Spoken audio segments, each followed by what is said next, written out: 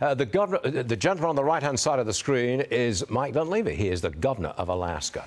Governor, was this a good deal for Alaska? You only got three drilling pads instead of five, and huge restrictions on millions of acres in Alaska. Are you happy with this deal?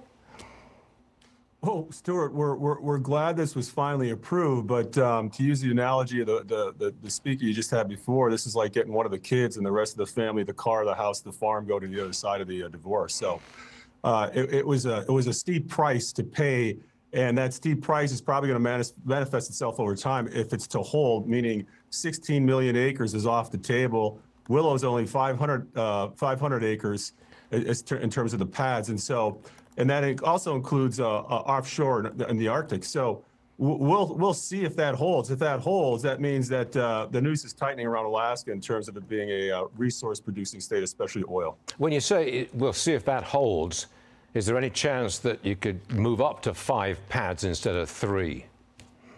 I don't know if uh, you know. I don't know if five pads uh, will happen, but what I mean hold is I don't know what authority the president has to take all this stuff off the table. I mean, we're trying to uh, follow this and figure out if there's some uh, some law he's following. Is it is it part of his a lot of executive orders, or is it another situation like ANWR, which was a violation of the 2017 law that we're in litigation over? So just because an individual says they can do something doesn't mean they have the authority to do it. So we're, we're looking into it. If there was a future Republican administration, is it possible that all kinds of things would be opened up in Alaska and you'd be allowed to do you, what you, you want to do?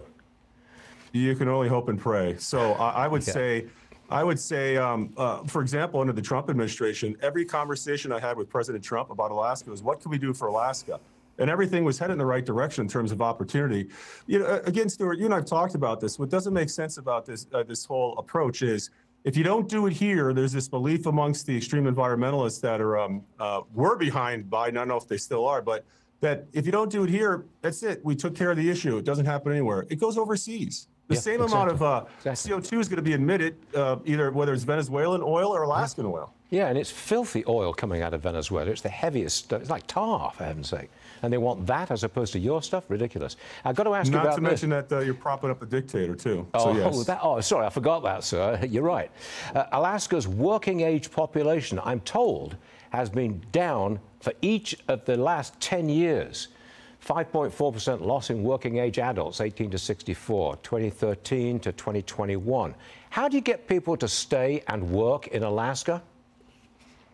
Well, again, it's all about opportunity. This may be a, a small opportunity for folks to want to stay here or come up and work, but there was a time, uh, you know, in the 70s and 80s, Stuart, where people were coming to Alaska by the thousands because there was tremendous opportunity with the uh, the pipeline uh, gearing up, the Alaska, the oil pipeline we're talking about, and other other plays, other uh, mining plays, and uh, the Tongass National Forest was still a logging forest where you could get timber from, but that's all changed. That's, uh, that's, that started changing during the Clinton administration. And so, you know, when I refer to the noose tightening, it's uh, every year it seems to be, there's more and more actions coming from the federal government, especially under uh, Democratic administrations. And so, yeah.